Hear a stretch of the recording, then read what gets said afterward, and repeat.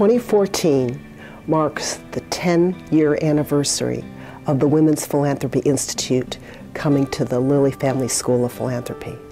This is also a very, very important highlight for us, this 10 years of leadership in the field of philanthropy and particularly women's philanthropy. Through our educational and research programs at the Women's Philanthropy Institute, we really try to connect women's passions and values about their own philanthropy to what's going on in the world. And we do that actually because we have a very, very rigorous research program so that research really informs the larger landscape, women are able to see where their passions and their values fit into the larger landscape to see where they fit. And I think that gives them power. It provides them some evidence that what they're doing with their own personal philanthropy and their own passion for philanthropy is not alone. They are part of a movement toward really changing the world.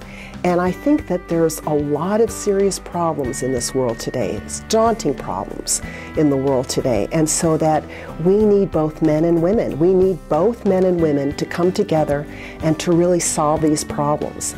And what we have found is that women have very different passions and very different motivations and very different patterns for giving and motivations for giving. And so uh, we have to study this. And that's what we really focus on at the Women's Philanthropy Institute is how men and women give differently.